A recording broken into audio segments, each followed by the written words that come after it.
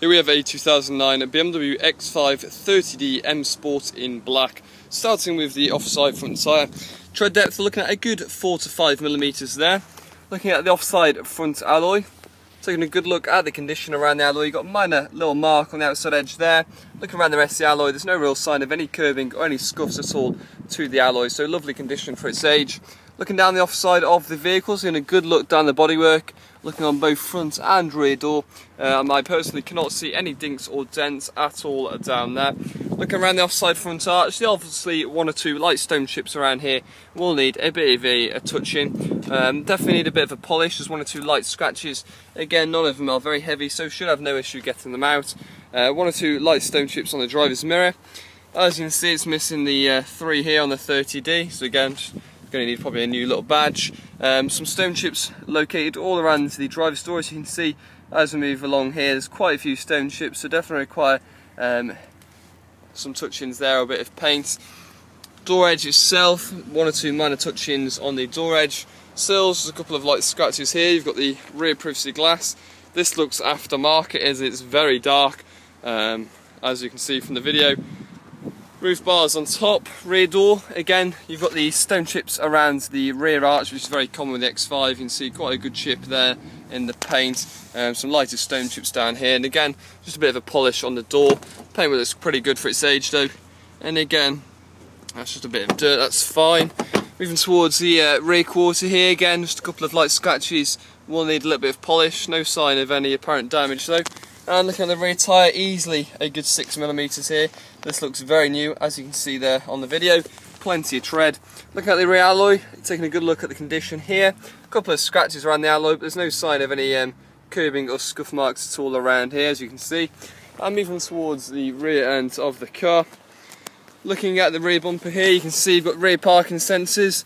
Uh, a little bit of lacquer peel coming off around the sensor there one or two minor little touchings on the rear bumper as well as a good mop and polish on the loading bay. You've got quite a few light scratches there. Same with the boot as well, you've got light scratches all around the boot. But again, no signs of any damage at all there. So again, a couple of touchings and a bit of a mop and polish. Inside the boot, as you can see inside, lovely clean condition. You've got your parcel shelf in there as well. Everything appears to be in good order. Locking wheel, not everything there. Obviously no spare wheel with the BMW. And moving round to the near side rear tyre. Taking a good look there, easily a good 5 to 6 millimeters of tread. And looking at the rear alloy on the near side. Again, taking a good look at the condition. Couple of scratches, but no curbing or any scuff marks there. Around the rear arch, again, some light scratches, going to need a bit of a mop and polish. Looking down the near side of the body. Again, I can't see any dinks or dents at all down there. Rear door edge again's fine. Stone chips all located here on the rear arch. Good mop and polish on the rear door. Same in the front door as well. A couple of touch-ins located along the door here, so a couple of touch-ins there. And over you can see along the door here, you've got quite a few stone chips located all on the bottom of the door. And then touch-ins all along the, uh, the door edge here as well. So looks like a couple of car part nicks, etc. Mirror's fine, front arch again, some light stone chips around the arch as well as some scratches. The one here's slightly took the paint off, um, so it might need a bit of a, a touch in there as well. Front tyre, easily good 4 to 5 millimeters there as well. And looking at the front alloy on the near side, again lovely condition with no curbing or scuff marks there. And moving around to the front end of the car.